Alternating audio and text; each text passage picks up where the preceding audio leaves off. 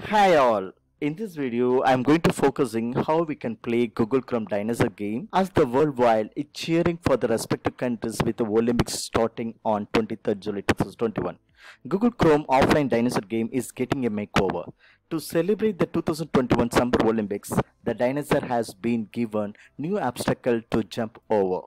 Chrome Dinosaurs game was originally designed to keep the users engaged in case they lost internet connectivity. You can also play the game anytime by typing in a Chrome colon double slash dino in the address bar. Normally the game involves jumping over cacti but to celebrate Olympics the game will get added elements including gymnastics, surfing, track and field, swimming, and equestrian. The dinosaur even wears special outfits for each event and can win medals as well.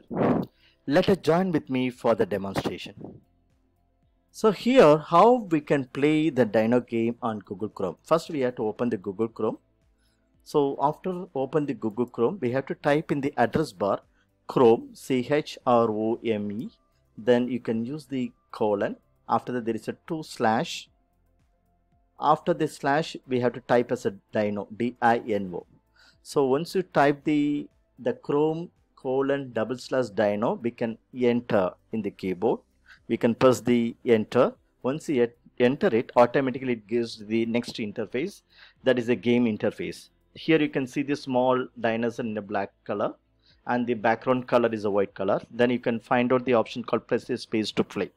Then once you press the the space bar automatically the games might start just i'm going to brief the the games so you will need to jump over a few catch first eventually the olympic torch will be up here then straight into the torch don't jump over it the dinosaur will then be swapped into an outfit and you have to start playing one of the Olympic events. So this is the modality of this game. So I'm going to start this event. Just I'm going to press the start button. You can see the how the interface can change it now.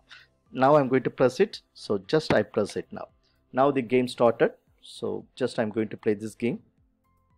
Now the torch, I got some bonus point.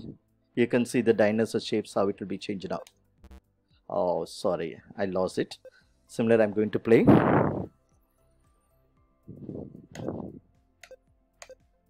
Ah, sorry.